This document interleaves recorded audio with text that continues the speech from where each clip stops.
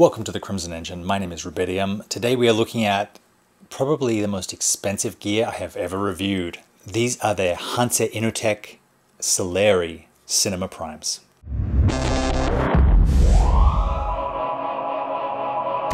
If you're not aware, Cinema Primes are lenses built with um, a single focal length. These lenses are full frame. Um, they're um, they have dual side marking. They, of course, have uh, a ring for both focus and aperture. And these ones have the markings on both sides in feet. You can also get them in meters. Uh, you can also, yeah, they come in both PL and EF. The ones that I've been lent by Hanse Inno Tech uh, are swappable. So they have a detachable ring on the base of the lens um, that with a little hex uh, screwdriver you can take off and substitute for an EF mount. So you can go between PL and EF really easily. They're built out of metal.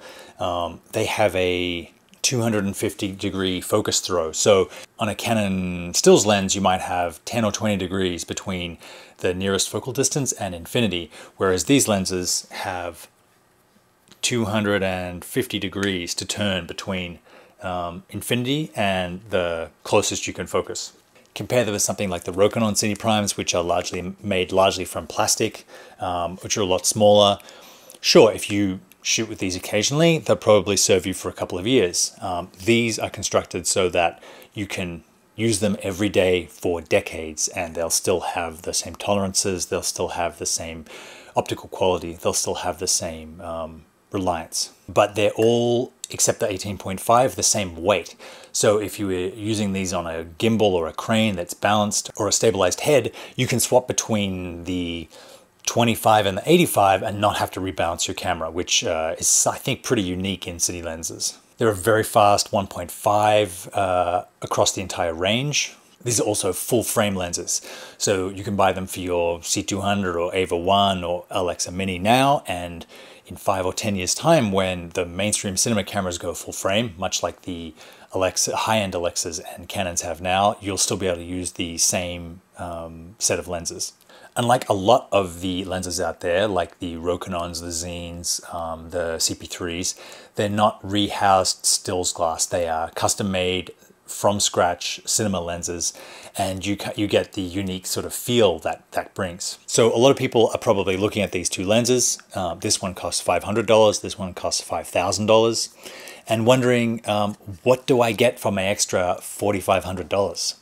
Uh, what is it that a high-end um, professional cinema prime brings to my filmmaking that I can't um, get in other places. Like, why should I put my resources into cinema lenses um, or beautiful cinema lenses, either buying or renting them, um, rather than you know shooting for another day or another week or getting a better camera, a better monitor, that sort of thing. And that's also a question that I've struggled with um, over my filmmaking. I always, you know, I've gone through different stages of, you know, really loving lenses and thinking that that's the, the one place you can make a real difference or thinking that a lot of what lenses do can be done in post. You can increase the sharpness, you can increase, change the colors um, in something like DaVinci Resolve. So, you know, what exactly, what exact value do they add? Some of it subtle, some of it not so subtle. They definitely change the way that the camera sees color. Each lens or each element of the lens is coated um, with different materials, different chemicals, they shape and change the light as it passes through. It affects things like color, it affects things like dimensionality, um, meaning how 3D or 2D, how wide or flat um, an image looks. And yes, it is pretty subtle. And some of it is pretty much invisible um, on a compressed YouTube uh, video, but you know you you see it or feel it a lot more um, on the big screen if you're working for uh, for a cinema um, production. Some types of lenses are really consistent amongst all the sets of those lenses. Other lenses, especially vintage lenses, um, have a character all of their own. You see in the um, the Celere uh, 50 mm, it has this sort of swirl in the bokeh um, that's quite distinctive, gives it a really interesting look. Lenses flare differently um, when light's shot right through them. Um, they give different colors, different shapes. Uh, it's very, it can be very distinctive or it can be subtle.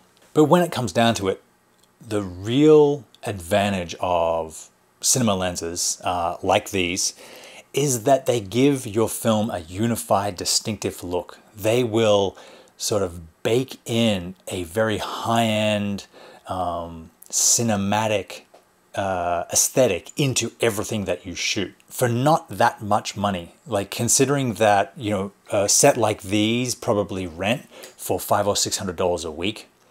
Um, so you're shooting a feature over three weeks. That's fifteen hundred dollars.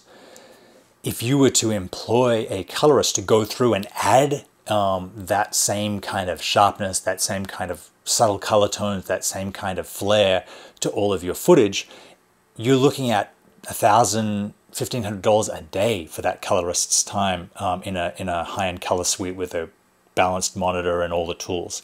So you can see that um, as expensive as these are to own, um, the reason that a lot of people buy them and then or rent them for their productions is that they do add a lot of value very economically um, to the movie or to the film or to the production that you're shooting. I've shot with these for a little while now. Um, I've only had them for about a week, but they do seem to add that extra layer of glow, that extra layer of production um, to whenever I put them on the camera. It's really noticeable um, when you see it uh, full screen on a you know 30 inch monitor. It's much less noticeable when you're looking through, but once you actually go back and review the footage, there's just a certain polish on things that you don't get with, say, you know, my go-to Canon 50mm 1.4. Um, they don't have autofocus, of course. Um, they have to be focused manually. Uh, and I think that's why they're probably more um, suitable to a you know bigger size productions that can afford focus pullers. Um, they're not quite your run and gun set of lenses. Uh, yeah, but you, you know no one's running and gunning with twenty thousand dollars worth of glass. For the money that it costs to rent these, uh, nothing comes close in economically adding uh, a polish to your production um, and a, an extra level to your filmmaking.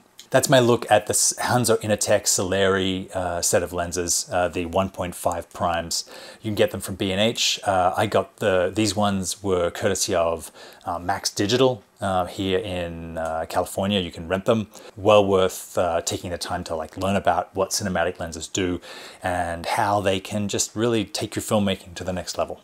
Thanks very much for watching guys. Leave your questions in the comments. I will see you next time.